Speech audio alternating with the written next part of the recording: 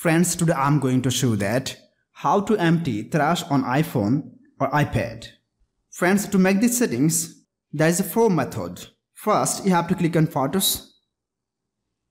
Then you have to click on album. It is already in album, right? After that, you have to scroll down and you'll find here recently deleted. You have to go on here. You have to tap on it. After that, my friends, you will find here you deleted files. You have to select all of this my friends by click on here on select. After that simply you can click on delete all. Or you can do one thing my friends, you can click on cancel, you can select one by one like this. Then you can click on delete.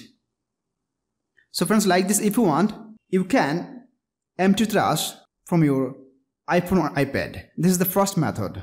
For the second method, you have to go on mail then you have to click on junk then you have to click on edit after that you have to select like this my friends manually then you have to click on delete all like this my friends and your trash will be deleted for the third method you have to go on notes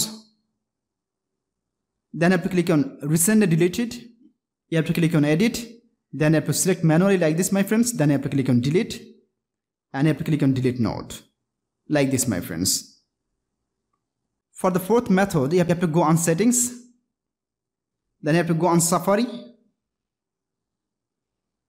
Then you have to scroll down my friends to go on here clear history and website data. You have to click on here. After that, you have to click on here also clear history and data.